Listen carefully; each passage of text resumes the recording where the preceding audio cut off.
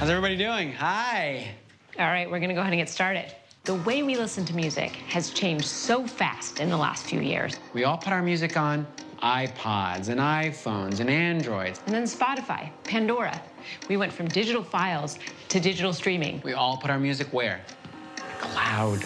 But I just bought that, and then that's over. But oh, I'm supposed to have this, and it's the new year, and then suddenly, where is my music living? It's like being at a restaurant with a huge menu. Too many options. Too many options. It almost makes you want to give up listening to music, right? Right. We're here to introduce to you the new evolution in music. Thank you, Irene. Introducing the one CD that's been in your car for the last 10 years. We are talking about the most reliable form of music on planet Earth today. You turn on the car, and it's already playing.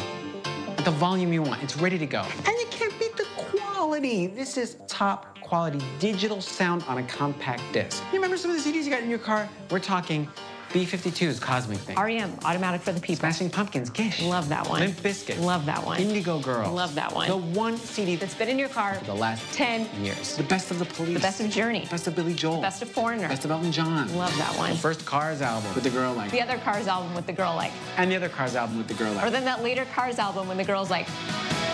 Fishbone. Right? Fishbone. Remember your Fishbone CDs? And of course, the Cranberries.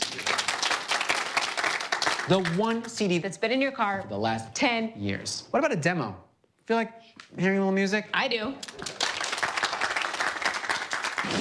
Huh.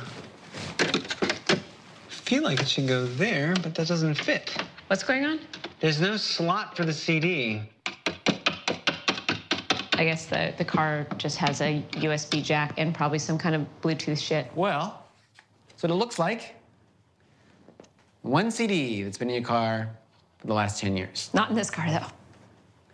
You know what? Record player. The record player. You don't need Wi Fi access. You don't need an iTunes password. Oh, it's skipping. No matter where I put it. You know what? Music. Skipping like crazy.